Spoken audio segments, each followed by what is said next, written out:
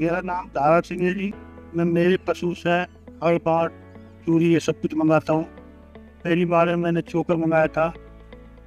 मेरी गाय भैंसों ने अच्छा पकड़ा। उसके बाद मैंने पिलौने की खड़ मंगाई।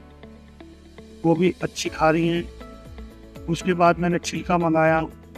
वो भी अच्छी खा पी रही हैं। माल की सप्लाई बड़ी अच्छी मिल रही है मेरे को, मेरे पशु से।